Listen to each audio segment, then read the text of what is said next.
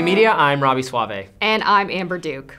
With Joe Biden officially out of the race and Kamala Harris stepping up as his replacement as the presumptive Democratic nominee for president, liberal media commentators are suddenly interested in talking about age and mental fitness after ignoring those concerns about Biden for virtually his entire time in office. Let's watch. We have work to do. And so I'm going to be on the phone tonight calling delegates um, getting them, whipping them up, trying to get them on board for Kamala Harris. I don't think that's going to be a, a, difficult task.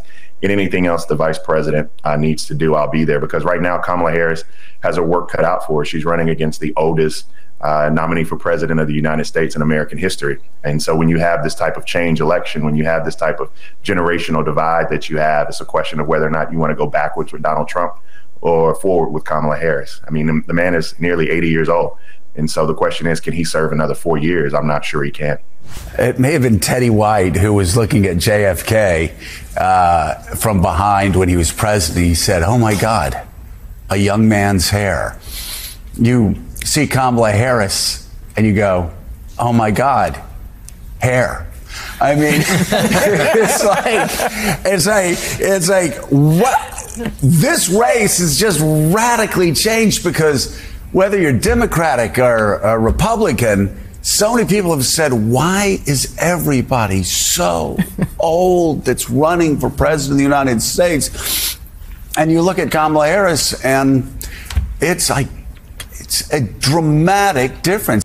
Bakari Sellers, of course, is the same commentator who was going off on David Axelrod just two weeks ago for suggesting that Biden leave the race because of his obvious cognitive decline. Now he has conveniently put in his own spin to now make age a problem with former President Donald Trump which I think fundamentally still misunderstands the problem that so many voters had with Joe Biden, which is not just that he's old, but that he has demonstrated repeatedly that he was not fit for the job mentally. Yeah, it is shameless for right. them to lean into this narrative now. It, it makes me think of uh, what's the NPC meme where uh, you know they, the disc gets removed from their brain and they put a new one in. It's like now it's okay to talk about age in terms of the presidential contest. But yes, it's exactly that. It's it's not, I mean, the, the, concerns about Biden were tied to his age because he is the oldest person ever to be president, to seek the presidency again. Um, but like, there are people older than him. I, uh, Bernie Sanders is, I, I, think, a year older than him or about the same age. And while I, I don't want Bernie Sanders to be president because I, I, disagree with his policies, I don't like, I, I don't have a concern about his you know mental acuity or he's he's in good shape and health for his age. He hasn't like slowed down in terms of his talking. He knows what he's saying. I disagree with it, but that's different than the Biden situation where you can see a clear market decline over his time in office and especially over the last couple months or he was held back from us. I, I don't know when this this drop began, whether it was 6 months ago, a year ago, 2 years ago because he's been so sheltered. Um, but that you know, Trump is also very old. Uh, that like that's true, and I think you can see maybe a little bit of decline, possibly if you really squint at it. But mostly he just sounds the way he's always sounded. He didn't even look that different at the end of his term in office, unlike every president who precedes him. You see the before and after pictures for like you know Obama and George W. Bush and Bill Clinton. They look like markedly made weary by their time in office. Trump looks basically the same. Yeah, I was actually watching a, a YouTube video that just came out where Bryson DeChambeau, who's a LIV golfer and former PGA Tour member, played a full 18 holes of golf with former President Donald Trump. And I gotta say, he looks pretty mm-hmm. good. He's a legitimately good golfer. He has the old man swing, of course, with the sort of shortened back swing. But I think that's a pretty decent test as to what kind of shape someone's in if they can walk 18 holes of golf or play 18 holes of golf. But I mean, even getting back to what Joe Scarborough is saying there with this is a generational change that they have to get used to, or perhaps that was Bakari that was saying that. I, they're all sort of latching on to this issue.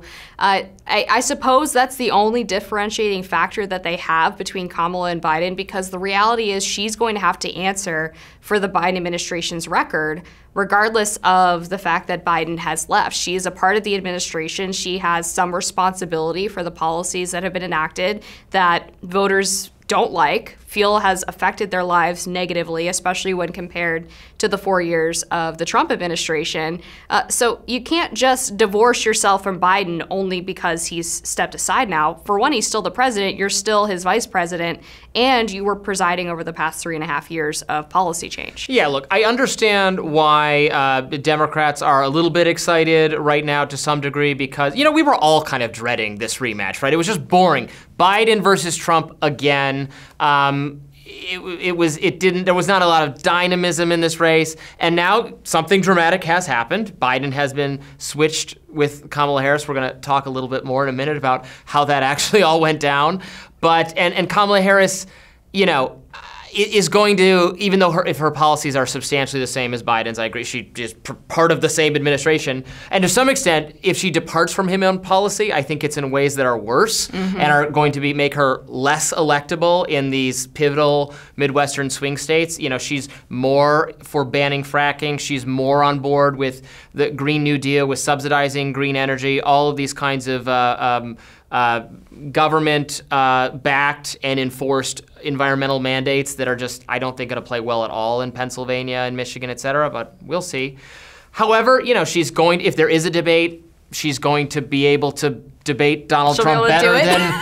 better than Joe Biden in this moment. Although, of course, we always have to keep in mind the thing you knew about Kamala Harris, if you knew who she was, was that she talked in these kinds of she was not a gifted communicator. She talks in a very vague, you know, we make fun of her. That's what she's known for is these very um, sort of circular, circuitous statements where she's not really saying enough. There's a reason people compare her to Selina Meyer from Veep, which is, you know, now she's still a better communicator than Joe Biden right now, but that was only that's only become true in the last three months. Prior to that, everyone thought she was a less effective communicator and that she was a less popular political figure than he was. I, I, grant that that has changed as of late in the wake of Biden's debate performance, but this is not someone with like a long track record of being known for effective communicating or being well liked in politics in general. Right. I think the Democrats are looking at this from the perspective of it couldn't really get much worse than yeah. Joe Biden, and there is a potential upside with yeah. anyone from the party replacing and, Biden. And, and, they're right. I grant that right. is possible. Yes. But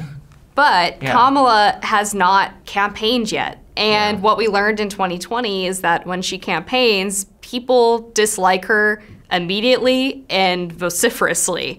I mean, it was only the second Democratic debate where she got thoroughly dismantled by Tulsi Gabbard on the issue of criminal justice reform and ended up suspending her campaign before even making it to Iowa, even though she was sort of the Democratic darling. She was one of the favorites of the DNC um, and just flamed out spectacularly. So I think perhaps the Democrats have kind of memory hold just how bad of a candidate that she is and give it maybe two weeks, and they're going to be, I think, maybe kicking themselves that this was the best that they could do. Yeah, on uh, on you know criminal justice stuff, Elizabeth Nolan Brown a Reason has done some reporting on uh, Kamala Harris's past as as a prosecutor in California.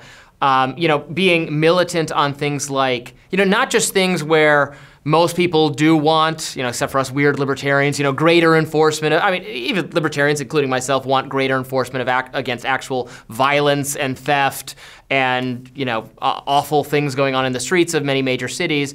But she was known for enforcing like truancy laws. she wanted you know lock up parents for kids not showing up for uh, for school. Was was militant about things that maybe you don't necessarily want uh, police uh, a, a heavier police presence for, and then ended up you know, backing away totally in an insincere fashion from uh, actual uh, crime enforcement type stuff when uh, Black Lives Matter and George Floyd and all of that stuff happens, you know, running, I think, in a totally fake and inconsistent with her personal persona sort of way uh, uh, against that. Um, it, it leaves you wondering what she stands for. and Does she actually stand for anything?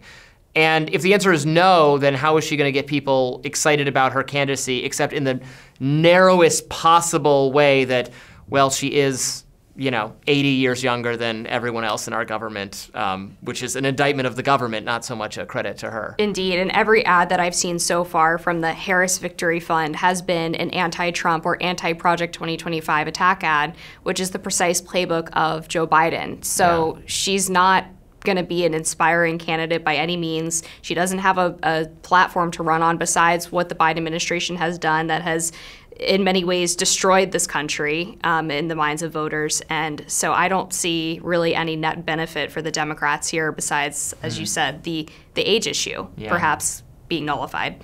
Well, we've got a lot more scrutiny of Kamala Harris coming up. Stick around for more free media.